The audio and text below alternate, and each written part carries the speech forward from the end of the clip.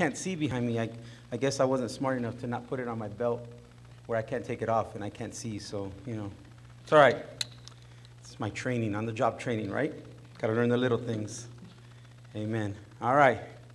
Yeah, Christian is, Kristen, sorry, Christian. Kristen is, uh, was sharing with you guys about uh, truth, and I think it's important in a time today, um, and, and we'll see a little bit today about truth. I read some interesting facts. I'm going to share them with you today.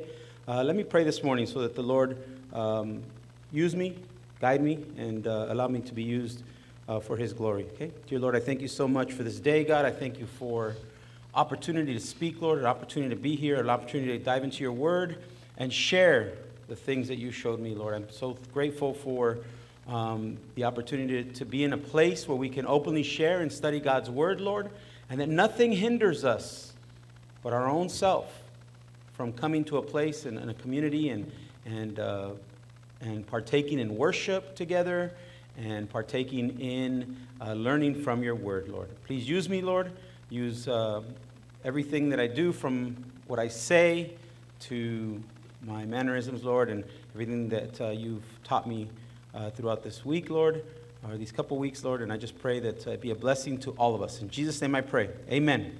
Second Peter chapter 1. Second Peter chapter 1. And this morning, um, we're going to continue that journey in Second Peter.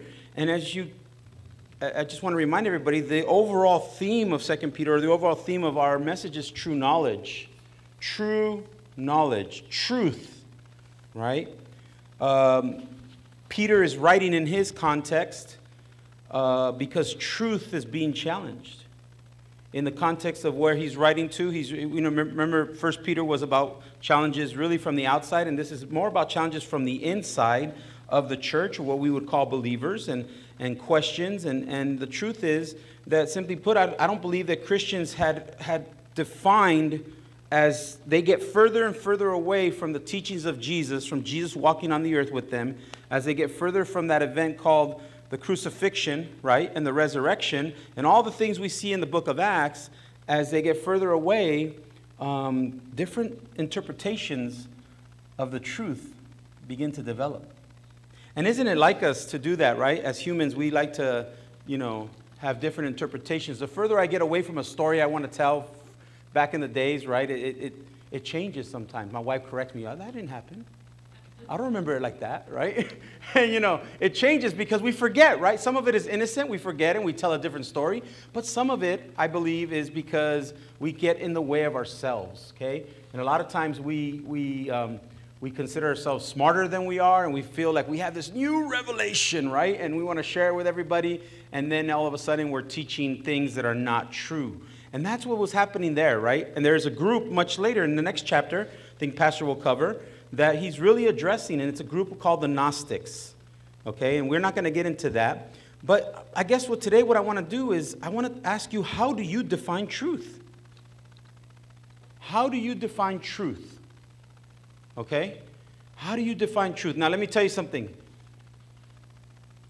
I've been in the grocery stores and I've seen these books rich in truth and knowledge called tabloids. right? We've all been there, we've all seen the stories in there, right? The weird stories. Man delivers baby, right? You know, uh, things like that, right? Things that are just strange to us, right? How do we know that's not true? How do we know that's not true? How do we know that the Bible's true and that's and, and that the Bible's true and that's not, or that that's true and the Bible's not? How do you know? How do you define truth? Okay, here's some interesting facts. And, and let me tell you something. Uh, we, I laugh about the tabloids, but I'll be honest with you. Our young people today, they get their truth somewhere else. It's called influencers. They're called influencers on YouTube. They're constantly trying to follow and mimic what they do. They're constantly trying to follow. You know, I, I get in constant arguments with my son sometimes because he's like, that's not what that is. And I'm like, yes, it is. Who told you that? Somebody on YouTube. Right? Influencers. Influencers are, are huge in our society today, and for young people, they are at the top of the list of where they get their truth. Okay? Where they get their truth. You just need to know that. We laugh about the tabloids, but the reality is the tabloids have come to life in what we call the internet. Now, I'm not trying to bash the internet. I love the internet. The internet's a great source, right? But many of you will search Google before you search your Bible for answers. Let's be honest. Where do we get our truth from? Here's a true story. This week in Bible class, we are talking about dualism, specifically the dualism that exists in the church, teaching that the body is separate from the spiritual, right? And the dangers that come with teaching that, this dualism of this dualism, this separation of the body and the spirit, right? And the dangers that come with that. And I asked the kid, Do you know what dualism is? And the kid quickly picked up his phone and said, Siri, what's dualism? it was hilarious. It made me laugh.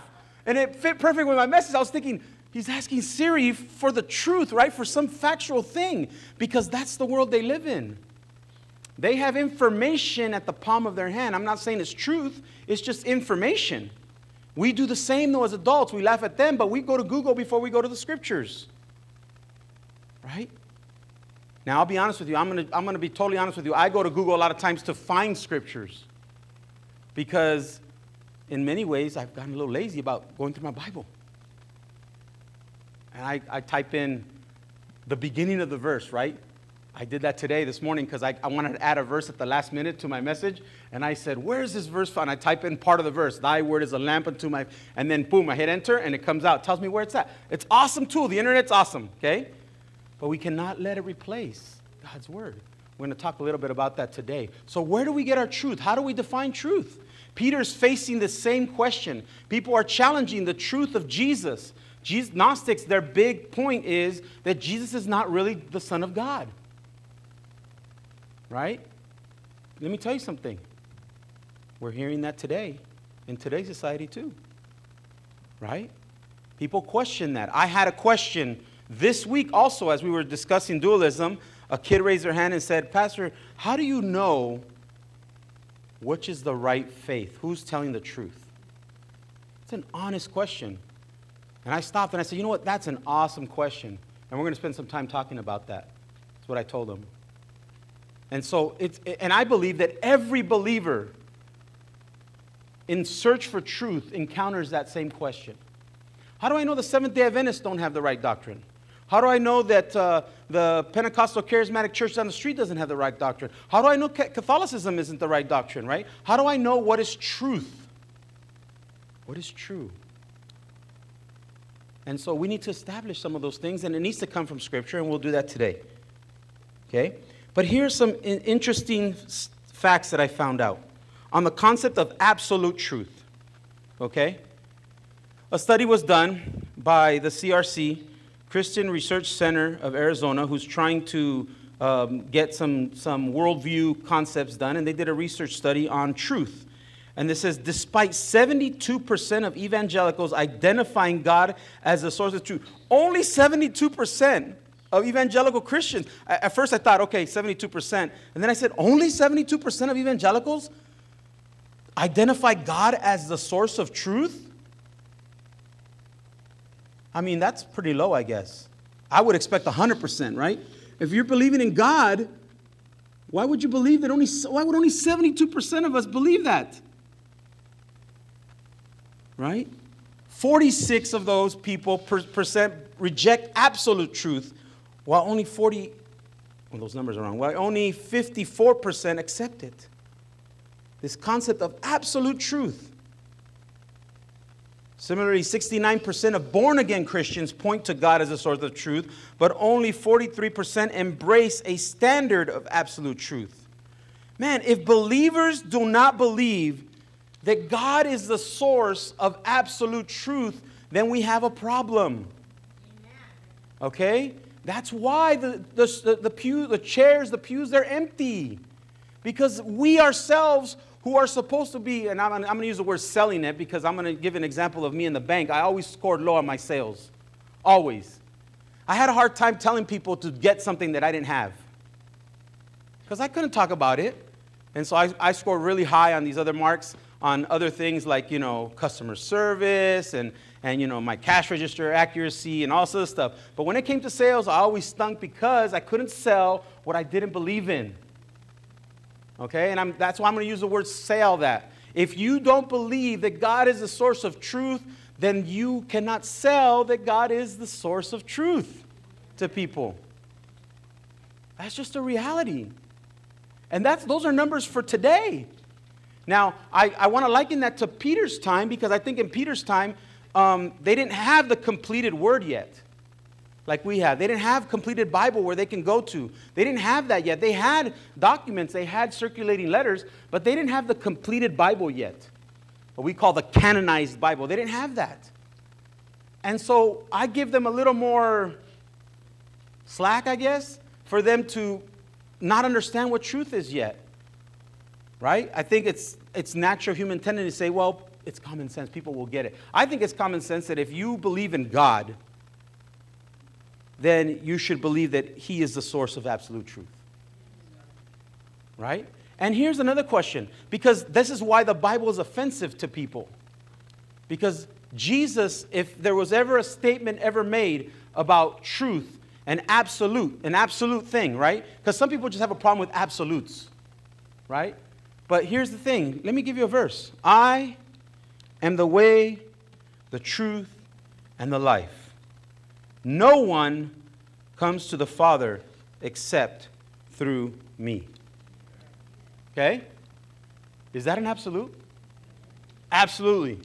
No other way, no questioning it, don't even think about it, only one way. That's offensive to some people. Got to be more ways. How could God, a loving God, allow people to go to hell? That was a question that was brought up in my Bible class, too. Real good questions, right? We got into some topics, and I think one of the girl, young girls says, Why would God allow a miscarriage to happen? Right? Those are real questions that we face all the time.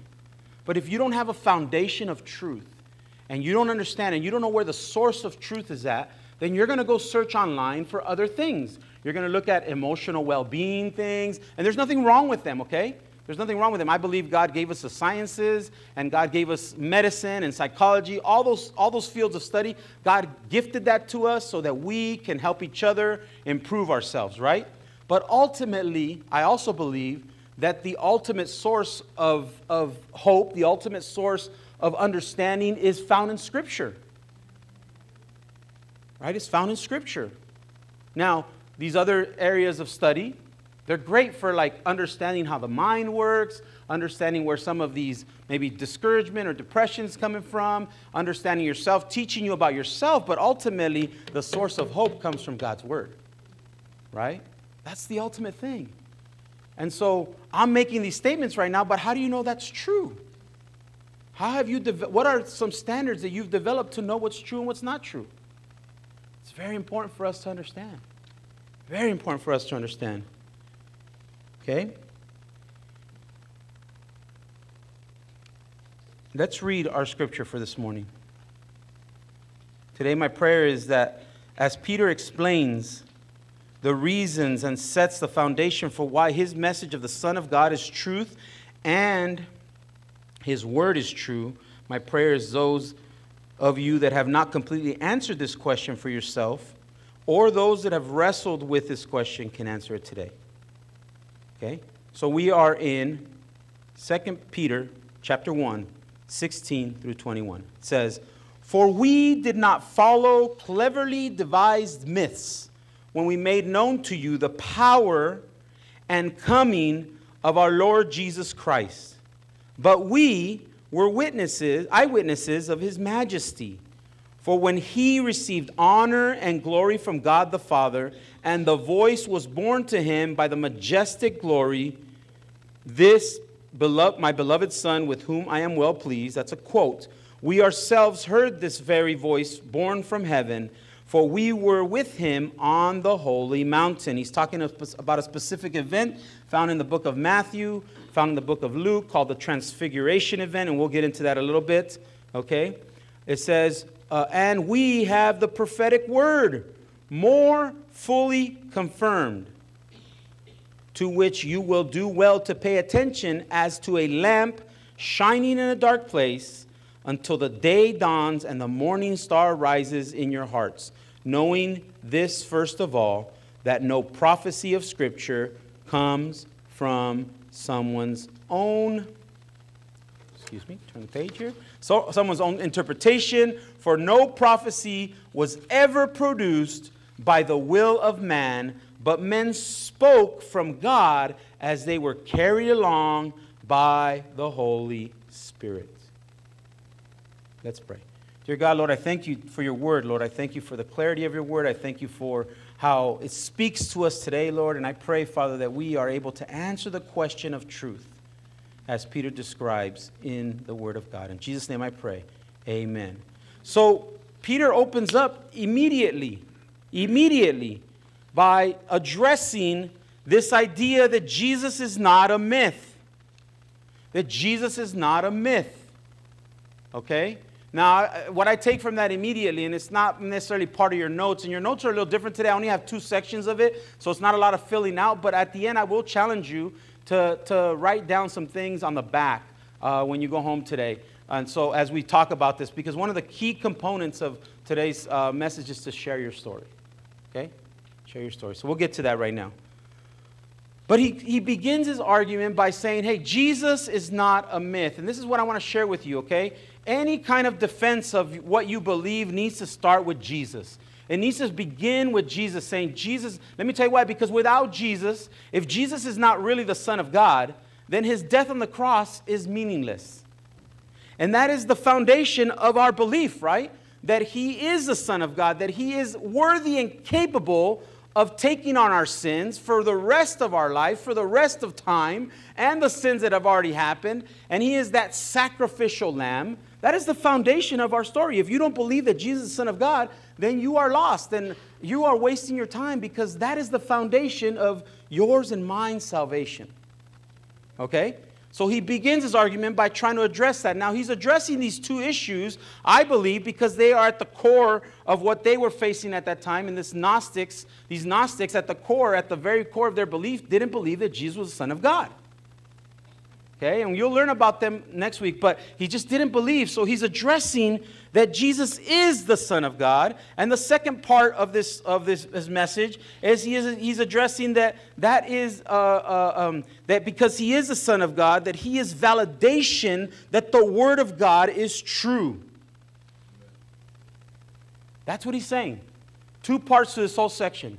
That Jesus is the Son of God without equivocation and there's reasons for that. He establishes parameters, okay?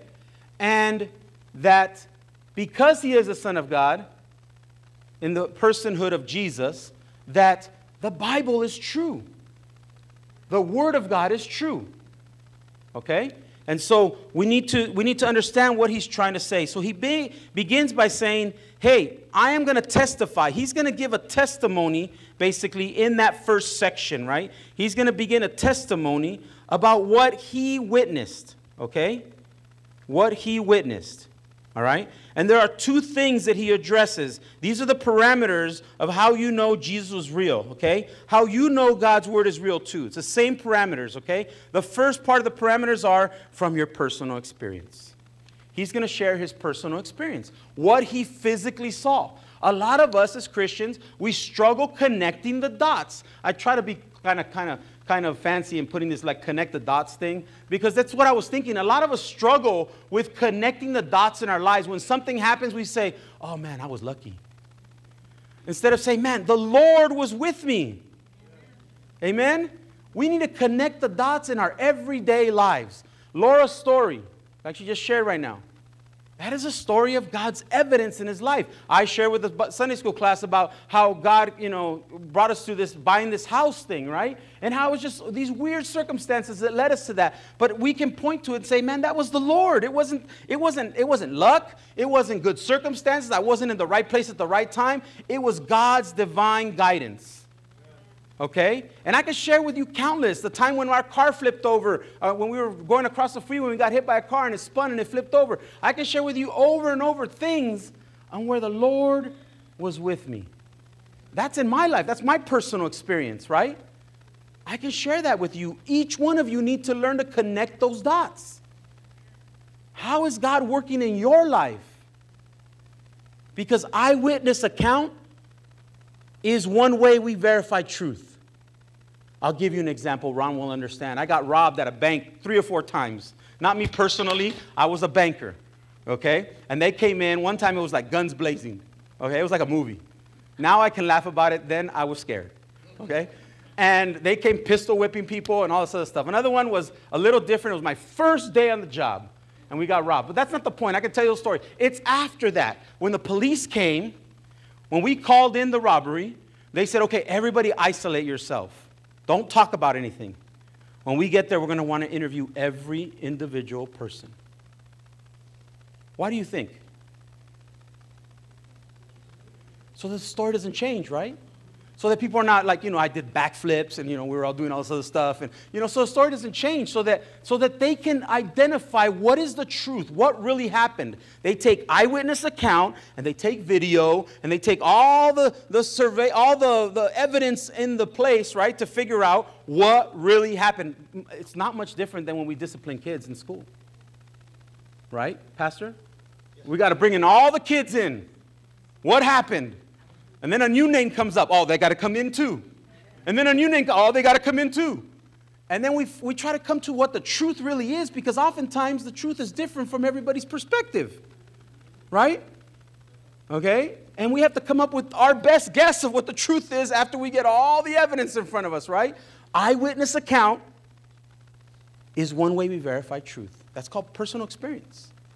Okay? Personal experience. And we'll talk a little bit because some people will accuse Christians, well, that's just your truth. That's what happened in your life.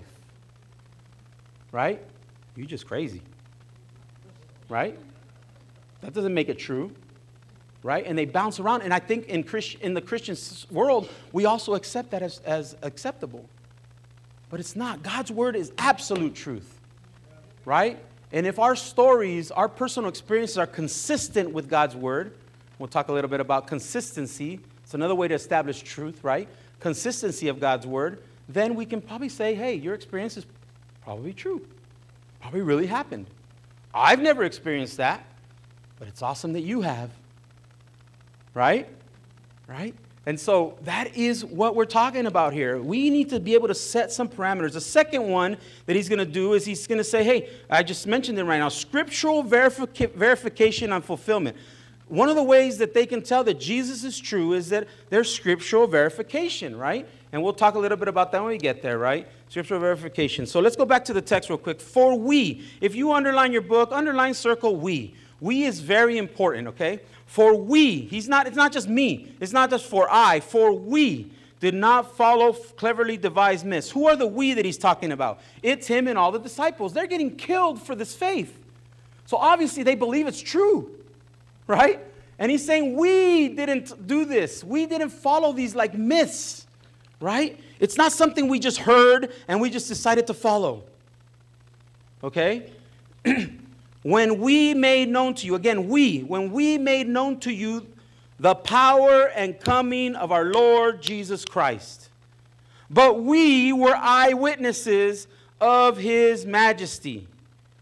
Okay? For when he received honor and glory from God the Father, and the voice was borne to him by the majestic glory, This is my beloved Son, with whom I am well pleased. We ourselves, we ourselves heard this very voice, born from heaven, for we were with him on the holy mountain. Who is this we? Well, let's turn over to uh, Matthew chapter 17, verses 1 through, through, I think we'll read up to through 8, right? 1 through 8. This is not a single person testifying to the power of Jesus, okay? Because when that happens, that can be easily construed as that person is just crazy, they're off their rockers, they lost their marbles, you know, whatever, right? But when it's we, when it's several people having the same eyewitness account, then we can probably give it more credence, right? Police officers have a hard time because they, they arrive at the scene usually way after something has happened. Is that correct, Ron? And they have to be puzzle solvers.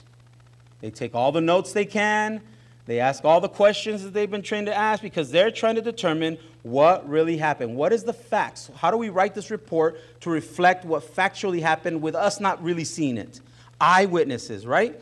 Eyewitnesses. Share your stories. I'm going to say that a couple times. Share your stories. We collectively, as we share our stories, we are bringing evidence and affirmation that Jesus is real. But if you keep your story into yourself, I don't care if you're embarrassed, afraid, scared, whatever. If you keep your story to yourself, then we are not doing, are not testifying of Jesus. We're allowing people to lump Jesus in with all these other prophets. Right? And so I want to challenge you share your story. I told that to the kids. Well, that was one of my questions on one of my quiz because we, we, we talked about Paul's testimony in Acts chapter 20, 26. And half the kids didn't fill out their testimony because they didn't know what it was. Dad. And I would say many of those kids do go to church and they still didn't know what the testimony was. Right? I, I don't know. I'm not going to ask you to raise your hands. But can you share your testimony? Can you testify of the journey that God's brought you through? Can you testify of His goodness, like we sang today? The evidence, right? These songs that we sing in church, they're not just to sing because they sound cool and we have beautiful singers up here and they're singing great, right? They get much beautiful, more beautiful when I'm not on stage. I notice that. I don't know why. The camera does something, I guess, when I get on here. No. But you know, they, they sing their songs not because they have beautiful voices or any of that stuff. It's because we're trying to sing biblical truths of what's of that's what worship is. We are worshiping God and we're singing his praises. Right? That's why we shouldn't be quiet when we're singing. We should be loud. We should be excited. It should be an outpouring of everything that God has done in our lives. You know what I mean? That's what it should be.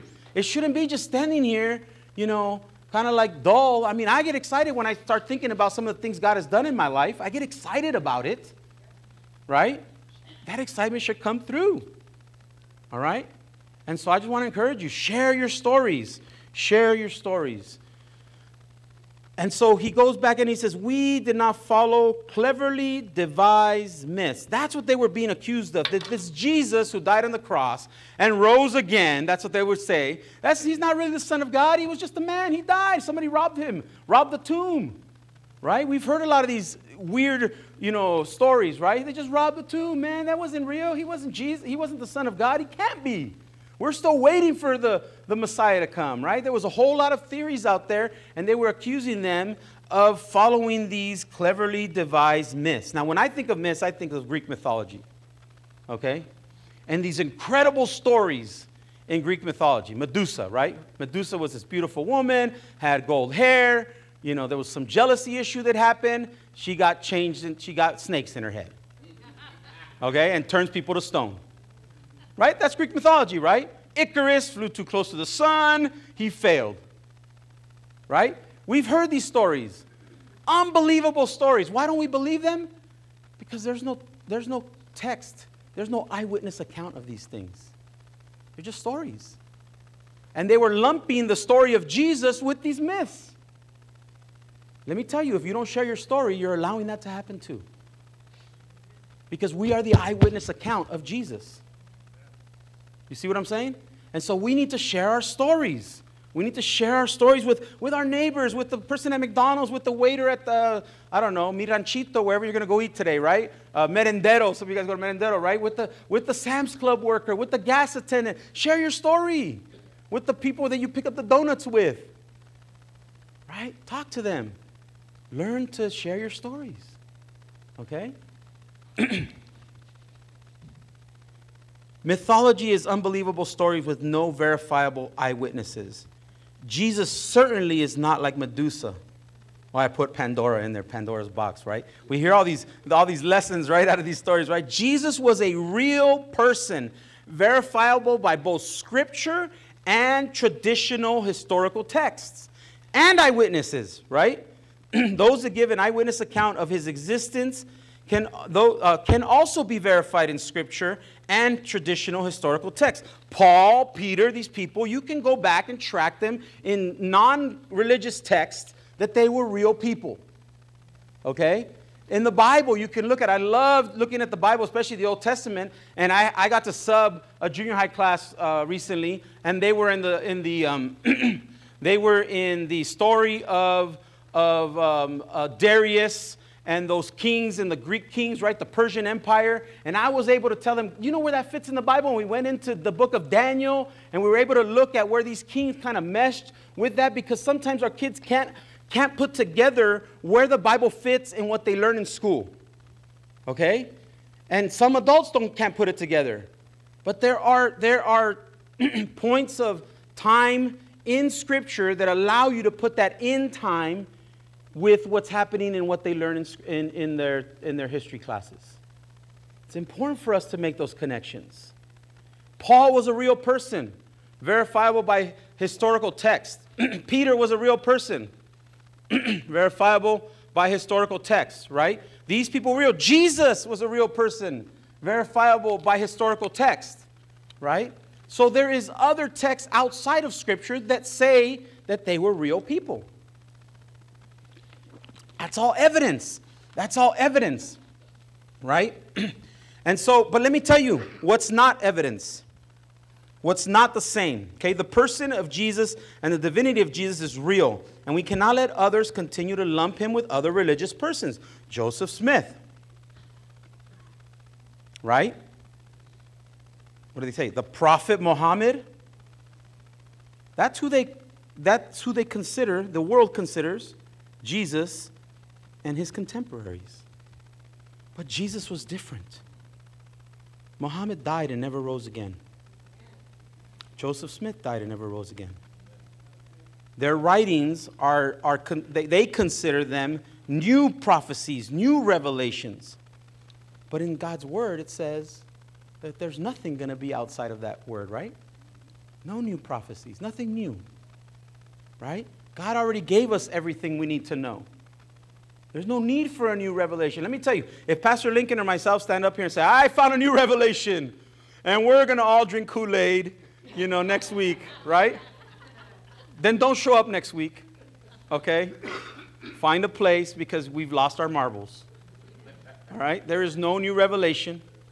All our, all our teaching should come from God's word, right? Because that is all that's needed.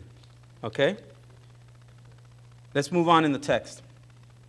Verse 17 For when he received honor and glory from God the Father, and the voice was borne to him by the majestic glory, This is my beloved Son, with whom I am well pleased. We ourselves heard the very voice borne from heaven, for we were with him on the holy mountain. Okay? Now, I had already asked you to turn to Matthew chapter 17, and this is where we're going to read it. Okay?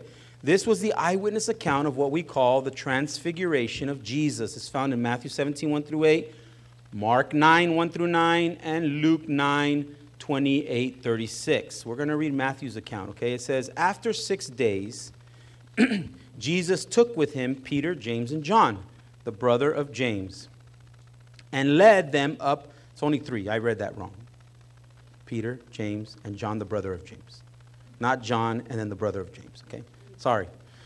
My, I got to make sure I make that clear and led them up a high mountain by themselves. Verse 2 There he was transfigured before them.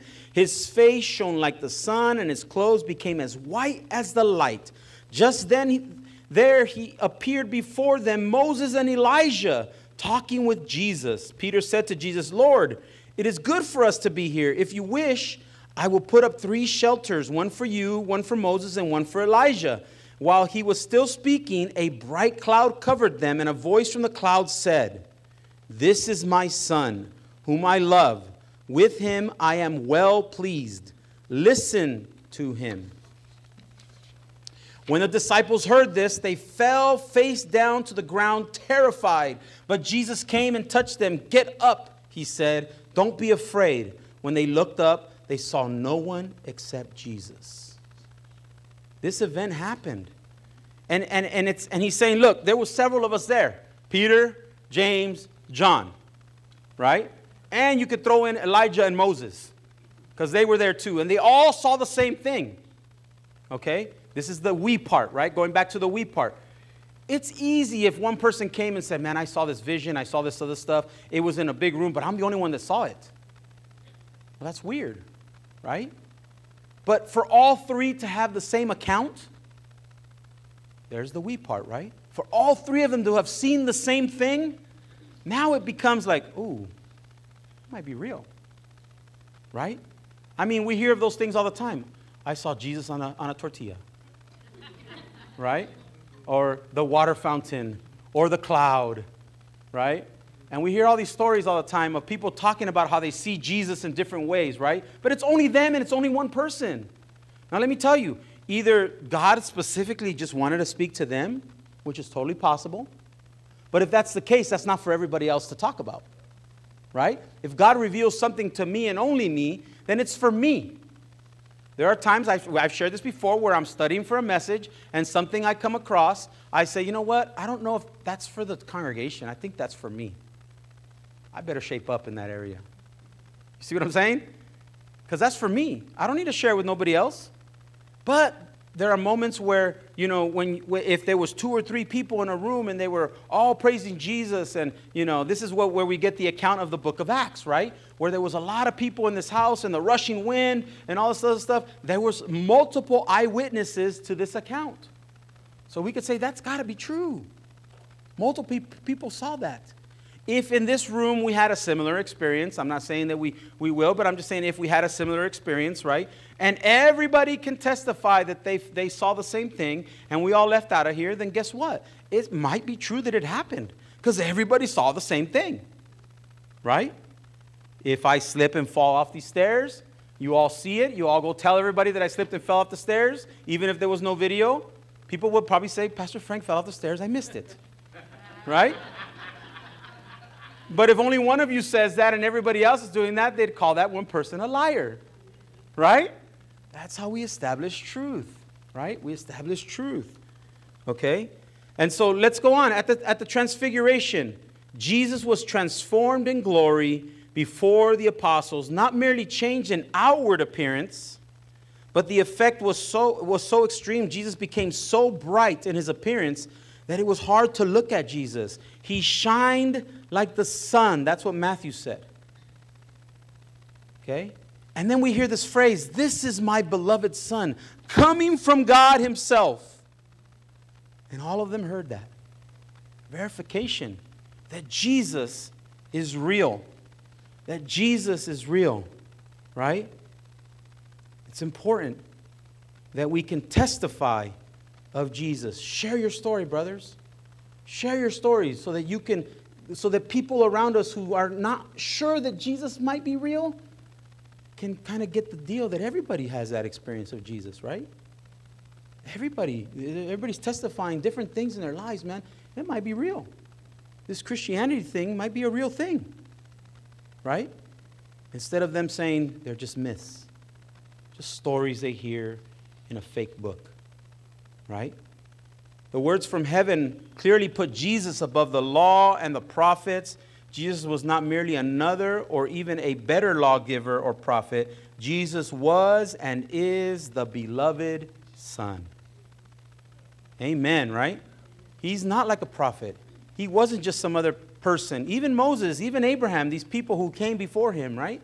He wasn't. Jesus is real, and we need to testify of Him and the things that He's done in our lives. So let's go over to how do we know Scripture is true? Verse 19, right? How do we know Scripture is true? Okay?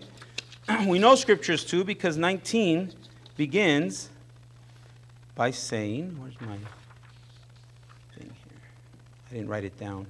Uh, verse 19, let's see here. Let me go to the beauty of technology. See, here we go. Verse 19. And we have the prophetic word more fully confirmed. We have the prophetic word more fully confirmed. Okay? That means that all the texts that existed before Jesus came and before they were ready, all the Old Testament manuscripts that prophesied of the coming Jesus, okay, it is now more fully confirmed than it was back then. Why? Let me share with you why. Just the mere coming of Jesus, he fulfilled at least 332 distinct Old Testament prophecies regarding the Messiah. 332. Okay, I got some, some, some mathematician facts here. There's a professor named Peter uh, Stoner. That's kind of a weird name, Stoner, right? Peter Stoner has, he calculated the probability of any one man fulfilling just eight of these prophecies is one in one, I don't even know how to say that number. It's got like 3, 6, 9, 12, uh, 15, 16, 17 zeros after the one. Those of you that, and then it says, and 10 to the 17th power. That's a big number, right? That's a big number. I don't think there's a name for that number. Just eight. For someone to fulfill just eight, he fulfilled 332. How much more concrete evidence do we need? And so, by him fulfilling those, those prophecies, right? By him fulfilling what's in Scripture, he is more fully confirming the Word of God. Right? He has more completely confirmed than, than to the people in the Old Testament. Daniel and them didn't get to meet Jesus, right? They just spoke of him coming, and there was no confirmation of any of that really happening, right? But now that they're living in Peter's time, they're saying, hey, this Jesus who we're sharing with you is the Son of God. He fulfilled 332 Old Testament, distinct Old Testament prophecies. Okay? So when someone asks you, is Jesus real? Oh, yeah. There's no other book in the Bible that he could have, you know, that, that could have, you know, that could, that he could have confirmed, right? Is the Bible real? Absolutely. Because Jesus is part of that confirmation. Now, he's not the only thing we can point to. We can point to other things, right? How about the promises that are in Scripture in our lives? Here comes the eyewitness accounts, right? How do we prove? We're setting standards, right? Eyewitness account, personal experience, scriptural affirmation. It's hand in hand. That's how we develop truth. Okay? Eyewitness account, scriptural affirmation, right? So, what about the, the, the evidence in your life? Does it speak to the truth of the scriptures? About it. Share your story, right? If you don't share your story, no one's going to ever believe that the Word of God is real. You are affirming testimonies of the truth found in Scripture. Amen? You and I, all of us who call ourselves Christians, right? We are affirming, okay? He also said that if you consider 48 of the prophecies, the odds become 1 in 10 to the 157th power. I don't even know what that number is. But man, that's amazing to me when I read that. That's amazing. I don't understand why people question God's word or the validity of Jesus when those two facts together should give overwhelming evidence. We'll move on though. 19b says, To which you will do well to pay attention as to a lamp shining in a dark place until the day dawns and the morning star rises. Okay? Until the day, until the day dawns and the morning star rises. God's word is a lamp in a dark place. How many of you guys can testify to that in your lives? Okay? You've been in a dark place and you go to God's word and all of a sudden you find hope. If you haven't experienced it, I'm sad for you. It's nothing better to experience than to be in a dark place in your life. Whatever the circumstances are, doesn't matter. Dark place in your life. And go to God's word and be immediately washed with truth and immediately feel better about the situation. Nothing better than that. I'm here to tell you that. Nothing better than that. And so that's why it's important for you to connect the dots. Connect the dots in your life, right? So, what does that mean? Psalm 119, verse 10 says, Thy word is a lamp unto my feet and a light unto my path. That really brings it to life, right? I, I, I woke up the other day, and I'm sure it's happened to all of you guys. I was looking for my cell phone for a light because it was all dark in the house. Okay? And I couldn't find it, so I said, forget it, I can make it to the bathroom. And what happens? What do you think happens? No. Bang, my toe. I didn't know that my wife had moved something to the area where I, walk, where I normally walk. Okay? And so, bang, I hit the toe. Right? All right? That verse became really real to me because, you know, I'm thinking if I had something that lighted my path, right, then things wouldn't happen, right? Let me tell you something. If you allow God's word to light your path in the dark times of your life, then you will find your way. Okay? Google's great, but God's word is better. Don't be like that kid, Siri. Right? Right away. Siri, what is this? Let me tell you something. I want to ask you that. Is God's word really a lamp unto your feet? Is he really a lamp unto your feet? I'm going to be honest with you, okay? When we talk about about the spiritual war that exists, and that's not what the topic we're talking about, but it's real. The devil desires nothing more than for you to stub your toe, right? With life circumstances, okay? And let me tell you, the percentage of that happening greatly increases if God's word is not a light unto your path. It's not a lamp on your feet. It greatly increases. You might get lucky and get through there right? But it greatly increases. And, and that's the truth of Scripture. For us believers, we need to share that with people.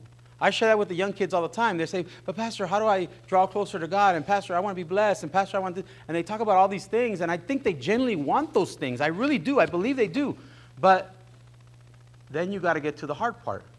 You've got to let the Lord and His Word guide your every step. And that's hard. It's hard for adults and it's hard for young people. Right? And so I get that. It's hard. But it's, but it's the best way. It's the best way. Okay?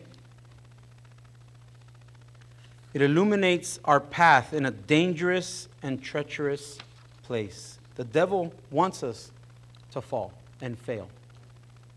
Dangerous place, right?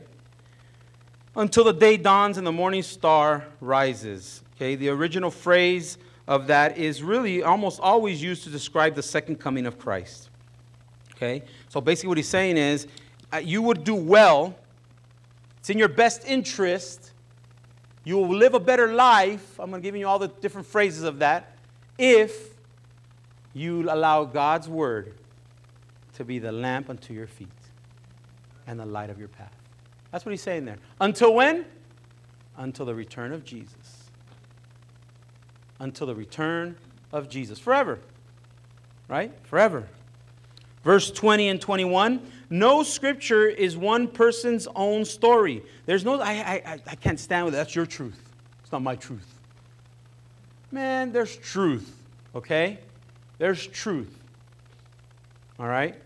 And that's found in scripture, right? Knowing this, first of all, that no prophecy of Scripture, this is verse 20, comes from someone's own interpretation, for no prophecy was ever produced by the will of man, but men spoke from God as they were carried along in the Holy Spirit. Now, I want to be, I want to be careful here because this version says prophecy of Scripture. I'm not talking about prophecy in general. Okay, it's very clear. Prophecy of Scripture. What's in God's Word, the prophetic words in God's Word, is what he's addressing here. Okay? None of that was done by the man. In other words, Paul and Peter didn't sit down and say, you know, I'm going to, you know, 2,000 years from now, I'm going to write about something about God so that 2,000 years from now it could apply. And I got to study and I got to do all this stuff. There are some great Christian books out there, but they, they plan what they're trying to accomplish, right? They're not thinking about the future. They're trying to think about what's my point? What am I trying to write about? It's the same, similar thing, okay? Similar thing. The only difference is that it's confirmation here that it was divinely given by the Holy Spirit. It says, as they were carried along by the Holy Spirit. So that means that as they're writing a letter, I, I can imagine this, this happening. The church call, writes to Peter or Paul and says, hey man, we got some problems over here. We got these Gnostics, and they're over here talking trash about Jesus, and we just don't know what's true, man. Can you come and give a little conference, a seminar about what's really true? Because we don't know. We're all confused. So Peter says, okay, no problem. So he writes this little letter and tries to address those issues, right? But as he does that, as he's addressing the modern day challenge that exists there, we talked about this yesterday in our Bible study class, right? There is a macro purpose of God, meaning an overall purpose of God. And I believe that oftentimes, as He's working in me, He's going to bless all those around me as He blesses me. Because He's not just working in me, He's working in me, but for the benefit of everybody too at the same time. We just get so self focused about me. I don't care about everybody else. I just want to know what's going to happen to me. Right? We get that way. And the truth is that as God works, He works in such a wonderful way. He works in a miraculous way. We were talking about that when it came to the story of Abraham. God was saving Abraham in that story from sinning against God because God had promised them a son, okay? And he, like a bonehead, for a second time gave his wife away as his sister. The, the king didn't know anything about it, right? And when and the king justly said, How am I going to get punished for this? Did he lie to me? Like, I, I just took him at his word. Right? In that story, if you want to read it, Genesis chapter 20, I believe, is where we were. Okay? He's like, uh, that's not fair. How am I going to get punished? God says, return that wife. Yes, you're right. And I, and I worked to not let you touch her. So you haven't sinned against me. Return the wife, and he's going to pray for you basically forgive you and bless you, and then you will be healed. Your punishment will be taken away. God was working to save Abraham and Sarah from making another dumb mistake, micro, also working macro at the same time. Sometimes we forget that, right? Sometimes we forget that. I believe that there are some, and this is, and I want to say this carefully because sometimes people get messed up. I believe that the errors that we make in our lives, if we seek God and learn from them, He can use as examples so that future people can learn from them. That's what we do as parents, right? When we tell our kids, my dad used to say, nothing good happens in the night. I was like, what are we talking about? These ancient proverbs. My dad, you know? But let me tell you something. I believe it. I believe it especially as a young person. Nothing good happens at 1 in the morning. Go home. Get in your bed, or you run the risk of putting yourself in trouble, right? Right? It's a truth. Why? Because my dad probably did some bad things in the middle of the night, too. And he learned. And he's passing that wisdom to me. Why do I share that with other people? Because I did some bad things in the night, too. right? So now I believe nothing good happens in the night. Right? Evidence. Right? And that's what I always tell young people. Look, if your parents are telling you something, okay, I'm going to be honest with you. They probably did it and they knew that it's wrong. And now they're trying to keep you from making that same mistake. So listen to them. So listen to them. Right? So what he's saying here is that no prophecy was ever produced by the will of man. Okay? No prophecy in Scripture was produced by the will of man. All right? No prophecy. So I want to get to application real quick. Application, okay? Here's the application for today. Number one, you can be certain that believing in Jesus is truth. Okay? Not just because, you know, God said it, I believe it. What's that phrase that people say? God said it, I believe it, so Huh? That settles it. Yeah. God said it, I believe it, that settles it. Right? And, and sometimes that's great to say, but you know, the truth is that, you know, we got to be able to explain ourselves, right? Sometimes people want evidence, right? And so we've got to be able to share that evidence with them, okay? And the second application is you can believe that truth is found in God's Word. Truth is found in God's Word. And here are the three reasons, right? It's truth because we've personally experienced it. Okay? It's truth because of scriptural affirmation, and it's truth because of historical evidence. Okay? Those are the three things that make something true. Right? Like when a kid says, I don't like broccoli. Have you tasted it? No. Well, how do you know? right? I don't like asparagus. Have you tasted it? No. Well, how do you know? Because it's green. That's not a reason. Right? I use those reasons too, brother. Trust me, I did too, right?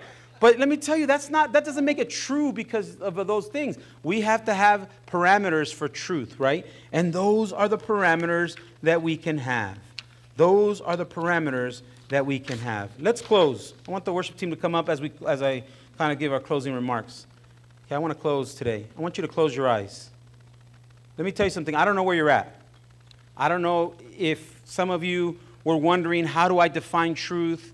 I don't know if you were ever even questioning if God's word was truth or Jesus. I think many of us accept Jesus by faith and then we're learning and we're growing to learn about him. But I pray that, that wherever you were today, whether you were someone that was on the fence of Je- about Jesus, or whether you were someone who was on the fence or had not an understanding of how to display the truth about God's word, I pray that God spoke to you today. I pray that you not be afraid to share your story. The promises that have been given in God's word and have been fulfilled in your life need to be told. And so I want to challenge you. I want to challenge you. Let me tell you on a different topic church growth happens because of that. It doesn't happen because you have an awesome pastor. It doesn't happen because you have uh, a great visitation team. It doesn't happen because you have a great children's ministry. It doesn't happen because you have a great live stream. It doesn't happen because you have a great uh, worship team. All those are awesome things. A big building. It happens because people are out there sharing their stories with others and they bring folks to the feet of Jesus. That's how church growth happens. And every person in here, from the youngest to the oldest, can play a part in that. Doesn't matter where you're at in life, doesn't matter how much you know about Scripture, because it's about sharing about your story. And no one knows your story better than you. Amen? Amen. Let's pray. Dear God, Lord, I thank you so much for this day, Lord. I thank you for these the people that are here today, Lord. I thank you for their stories, Lord. And I pray, Father, that uh, we all learn something. Lord, I pray that if someone doesn't know Jesus today because they didn't believe, they didn't, weren't quite convinced that he was true, I pray that they have a different understanding today. And if that's so, Lord, I pray that as we sing this last song, they have the courage to come forward and accept Jesus as their personal Lord and Savior. Father, I also pray, Lord, that those of us that maybe don't share our story because we're shy, or maybe we, that we understand that it is crucial for us to share our story so that we can testify about God's goodness, about God's mercy, about God's guidance, and about the real person of Jesus and the saving work in our lives. Father, I thank you so much for this opportunity, and I pray for those people um, who may make a decision today. Thank you, Lord, for letting me speak today. In Jesus' name I pray. Amen. So if you feel, as they sing today, if you feel the need to come forward, uh, Pastor Lincoln and I can pray with you. Uh, we'd love to do that uh, for whatever reason. All right? God bless you.